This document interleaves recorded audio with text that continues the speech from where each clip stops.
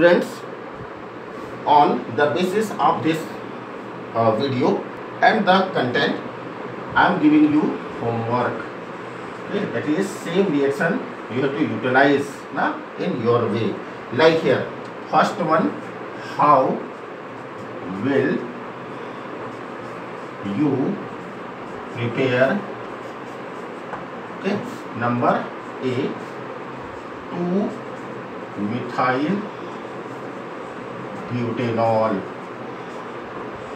butane to all getting with the same reaction number one 3 methyl pentane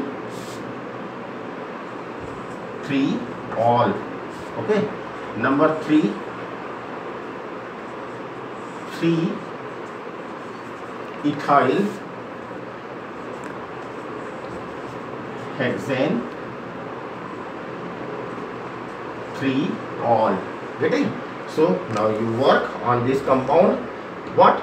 You have to change. Now what? The r for Grignard reagent add these two valences getting? That means you have to add different type of alkyl radical on it so that you can obtain this compound that's it.